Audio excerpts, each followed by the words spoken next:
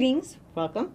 So we're going to do an a, integral example involving e to the x. It's good to do um, a lot of these examples. So we have, in particular, this one is going to use a little bit um, of the properties that, you know, we kind of learn about these. So we have the integral of e to the x over 1 plus 2 e to the x dx. Okay, and so this should look like, it might be hard to see this, but this is an example where we have something on the bottom and its derivative or close to its derivative is on the top. So we're going to have the bottom is actually going to be our, um, so this is going to be my u.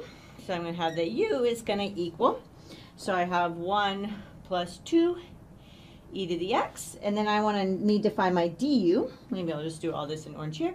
So my du is going to equal, so I need to take the derivative of this with respect to x, which is just 2 e to the x dx. Right, I just took the derivative of that with respect to x. And then continuing on, right, I want to solve for dx, so I get du over 2 e to the x equals dx. And then I can go ahead and substitute all of that in here. So that I'm going to get, oops, wrong color that this is going to equal the integral of, and usually the derivative part, we leave that because it's going to kind of cancel. So we get e to the x, and then we have our u, so this is our u.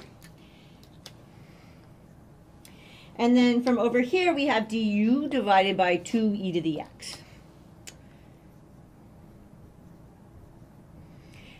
Right?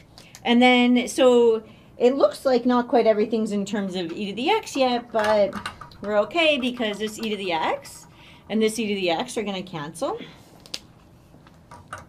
And I'm going to be able to get out 1 half times the integral of 1 over u du.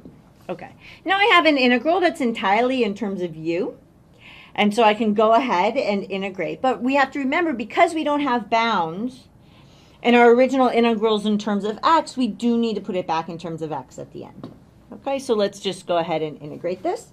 So this is going to equal 1 half times the natural log of the absolute value of u plus c. Okay, but we have this u here, so we're going to need to use it from over there. This is going to equal 1 half times the natural log of, and then we go ahead and put that in. So that's going to be 1 plus plus 2e to the x.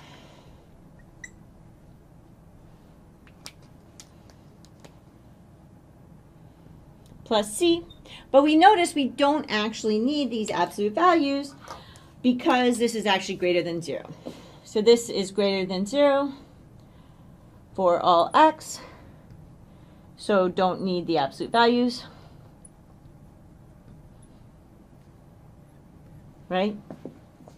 So I could just go ahead and write this as 1 half times the natural log of 1 plus 2 e to the x plus c. Okay. And I'm happy because this was in terms of x. This is in terms of x. I don't have bounds, so I did actually need to switch back.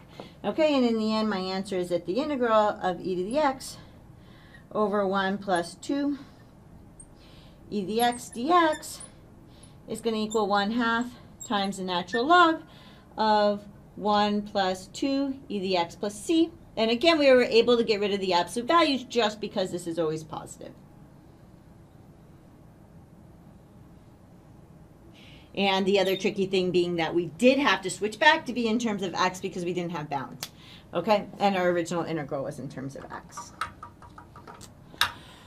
Okay, so I hope that that made some sense, and I will see you in the next, le next lecture.